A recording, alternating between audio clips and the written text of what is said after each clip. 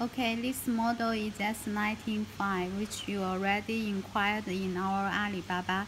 And uh, uh, if the function which you said scan automatically scan automatically is means continuously scan, then you can come into setting. There is scanner setting, you just need to choose the continuous remote. Okay, I will show you.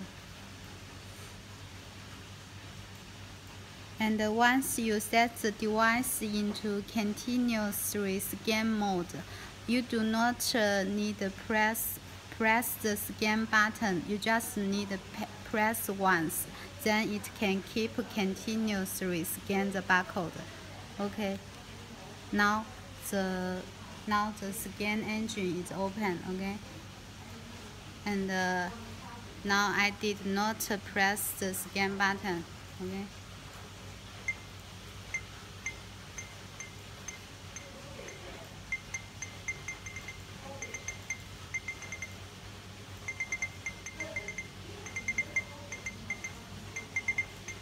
Okay. Okay